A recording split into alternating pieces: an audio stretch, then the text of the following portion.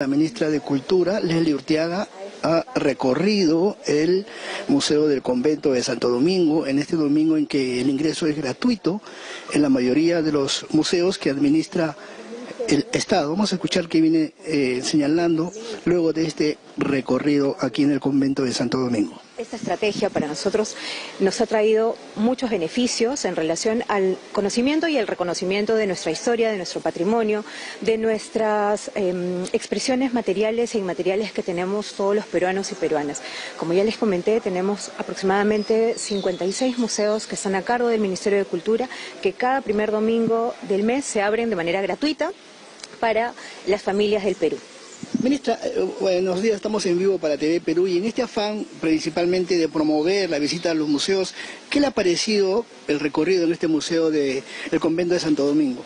Bueno, desde el ingreso realmente es impresionante ver los pisos originales, los techos del espacio de recibo, de la sala de recibo, eh, las tallas, los lienzos que son realmente de gran formato. Eh, nos trae pues a colación que tenemos una gran historia desde la prehispanidad, pasando por la colonia, la, la, república, por supuesto, hasta ahora, porque lo mantenemos como también un espacio de conocimiento y de arte. Incluso aquí tenemos una sala donde se fundó eh, la Universidad San Marcos, ¿no? Y también la Universidad San Martín de Porres. Tenemos las, los rostros que han sido, digamos, el resultado de una investigación de nuestros santos, de Santa Rosa de Lima, de San Martín de Porres, de también del santo español que estuvo mucho tiempo aquí, San Juan Macías.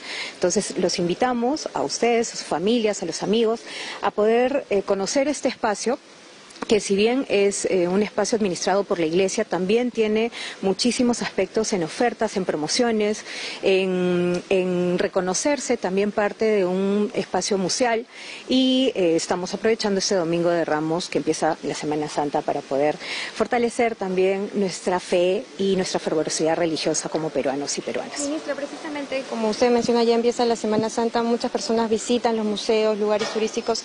Por el tema de las lluvias, algunos de estos lugares van a bueno, nosotros desde el Ministerio de Cultura hemos hecho un diagnóstico ya desde el año pasado y hemos estado trabajando de la mano mucho con nuestros especialistas, sobre todo en el norte.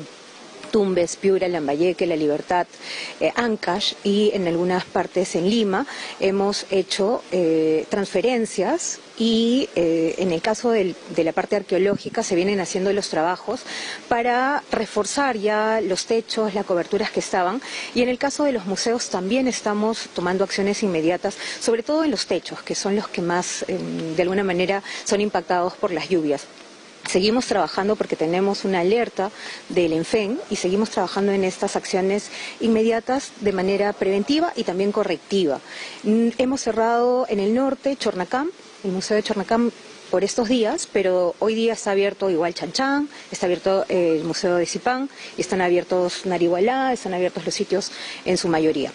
Ministra, pasando al plano político, ¿cuál es la postura del Consejo de Ministros respecto a si se admite o no la moción de vacancia contra la jefa de Estado?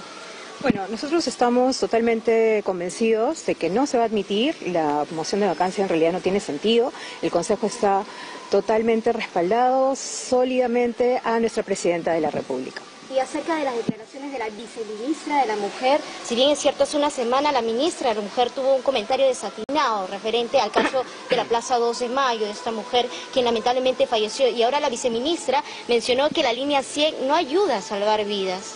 ¿Cómo dar confianza a tantas mujeres que padecen violencia familiar? Bueno, yo creo que tenemos que estar en el contexto, ¿no? Ya la ministra de la Mujer ha aclarado que ella no quiso decir lo que dijo, no, no quiso decir lo que se informó.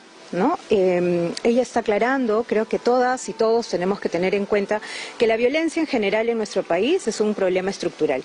Al igual que nuestra, nuestro problema con la discriminación y el racismo, con el que estamos luchando desde el Ministerio de Cultura, y sumamos también a los medios de comunicación para que nos ayuden a mantener este, este tema vigente, porque si no, no vamos a poder eh, combatirlo. Tenemos que saber que existe.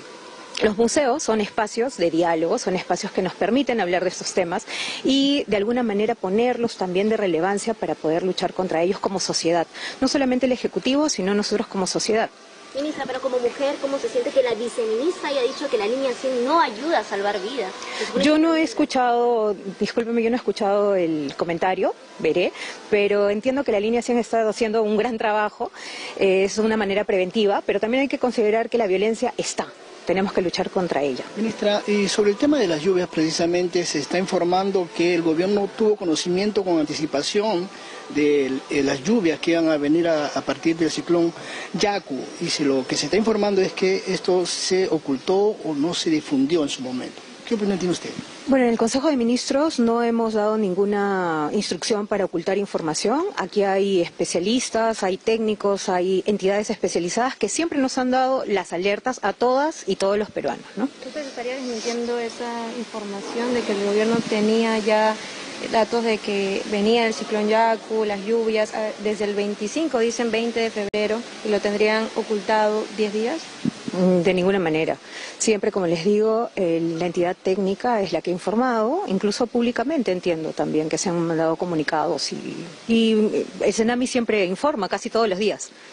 A raíz de lo del cierre del la clausura por parte de la Municipalidad de Miraflores del Museo de la Memoria, se informó en un, informe de la Contraloría que 53 de los 56 museos no cuentan con certificado ITSE, el certificado de seguridad y alguna gestión que está realizando su gestión para solucionar esta temática, este problema?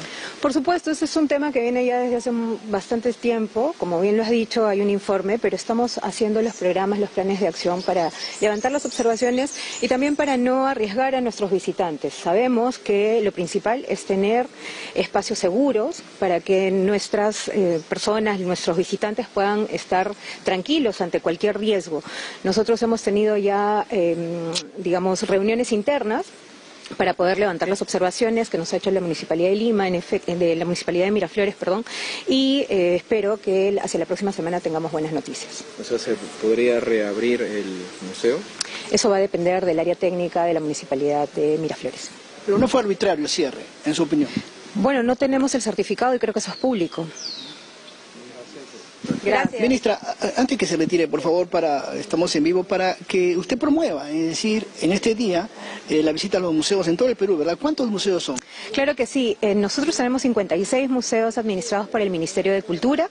Invitamos a todas y todos a visitarlos. Eh, cada primer domingo de cada mes es de manera gratuita, pero también sabemos que existen muchísimos museos que están administrados no solamente por el Estado, sino por la parte, digamos, privada, sociedad civil, eh, los museos del Ejército, de la Naval, de la Marina, museos de los gobiernos locales, de los gobiernos regionales.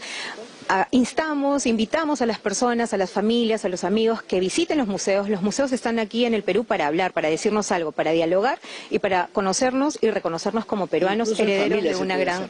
Incluso no, en familia tendría que ser lo principal y luego, pues posiblemente entre amigos, entre primos, solos. Eh, creo que además hay que aprovechar el día de hoy también en comentar que estamos eh, conmemorando el Día de la Concienciación del de, eh, autismo, ¿no? de esta condición que tienen muchos peruanos y peruanas y en ese sentido también los museos han tenido el día de hoy un espacio como en Pachacamaga, han hecho una visita guiada especial para las personas y sus familiares autismo, con autismo. Gracias, ministra Leslie Urtiaga Peña, ministra de Cultura. Vuelvo contigo, Estudios Centrales, Omar.